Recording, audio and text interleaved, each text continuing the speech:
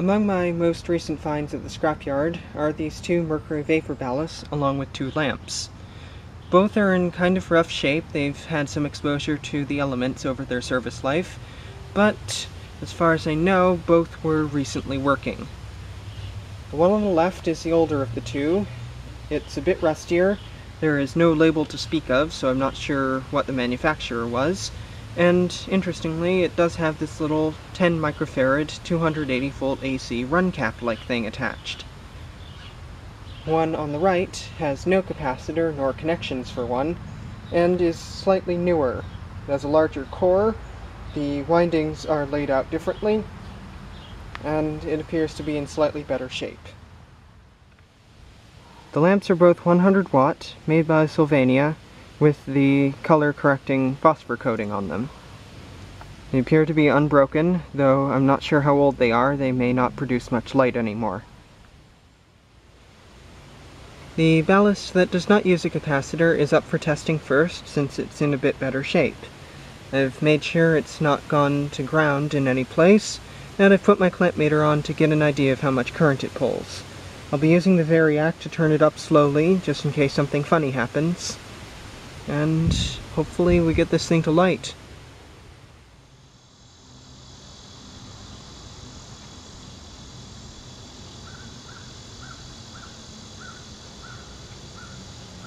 Not sure if the camera picks that up, but the lamp appears to be flickering a bit and trying to start.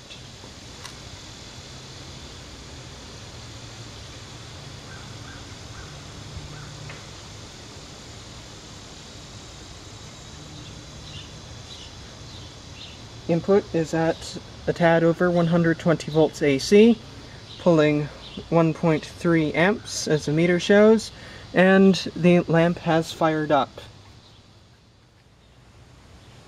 Now that I'm convinced that this thing will not catch on fire, I'm going to bring it up to 120 and wait for the bulb to warm up, see how bright it gets.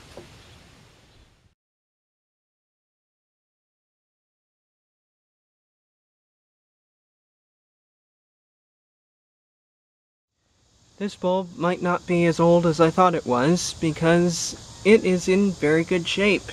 The light is bright and white in color, not the dull sickly green that an older worn out bulb would show.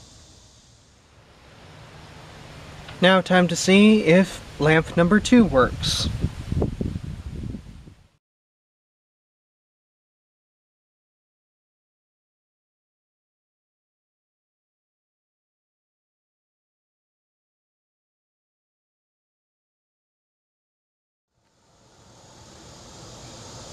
This lamp also appears to be in good shape. It's plenty bright and warms up quite quickly.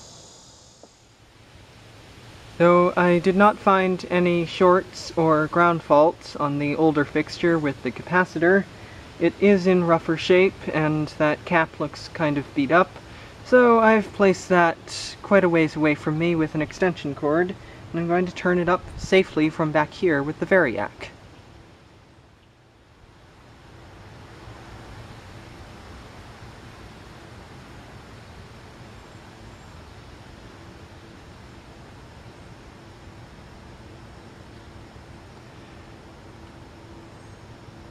The lamp is on. Things seem relatively normal. However, I'm still going to stay back here until I'm sure that cap is not going to explode.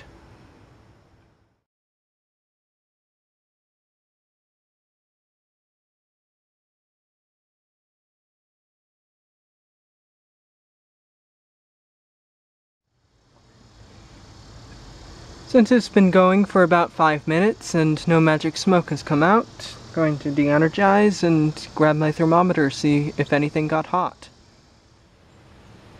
Since no part of the older ballast was hot, or unusually hot, I'm going to connect them both up together and have a bit of a warm-up race and light output comparison.